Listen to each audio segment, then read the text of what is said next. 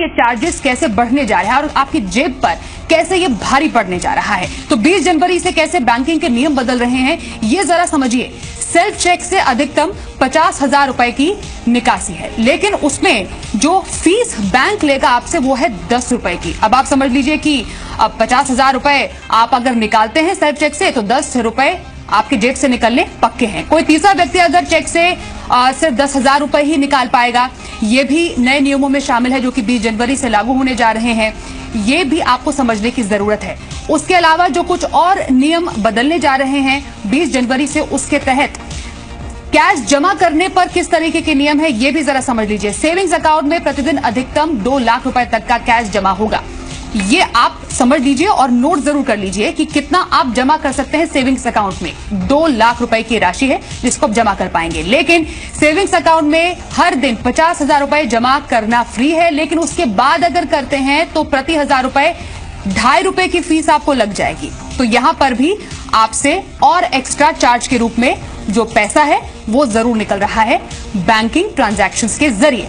अब जैसे CA CC OD मतलब करंट अकाउंट कैश क्रेडिट और ओवरड्राफ्ट अकाउंट है, उसमें प्रतिदिन पच्चीस हज़ार रुपए जमा करना फ्री है, लेकिन उसके बाद प्रति हज़ार यहाँ पर भी ढाई रुपए की फ़ीस ऐसे ट्रांजैक्शन के लिए रखी गई है। तो ये पॉइंट भी अपनी डायरी में ज़रूर नोट कर लीजिए, जो हम आपको ज़रूरी कुछ ये नियम बता रहे हैं, जो कि 20 जनवरी से लागू होने जा रहे हैं। और आपके लिए आम आदमी के तौर पर जाना बेहद ज़रूरी हो जाता है। इंटरनेट, मोबाइल बैंकिंग के लिए पच्चीस रुपए लगेंगे मतलब कई लोग जो कि बैंकिंग लाइन में लंबी लंबी लाइनों में लगना नहीं चाहते हैं घर बैठे बैठे ये जो सुविधाएँ हैं उसको उसका आनंद लेना चाहते हैं तो यहाँ पर भी आपको कुछ खास राहत नहीं मिल रही है। पच्चीस रुपए आपको आ, इंटरनेट मोबाइल बैंकिंग के लिए भी चुकाने पड़ेंगे। मतलब कि लेस कैश इकोनॉमी या डिजिटाइजेशन की बात हो तो वहाँ पर भी चार्ज के रूप में आपसे खूब पैसे लिए जा रहे हैं। पिन और पासवर्ड के लिए दस रुपए आपको देने पड़ेंगे। मतलब पिन हो गया आपका, या पासवर्ड उसको बदलना है, या नया पासवर्ड आपको इश्यू कराना है तो बैंक आपसे दस रुपए यहाँ पर सीधे तौर पर डेफिनेटली चार्ज के तौर पर ले लेगा।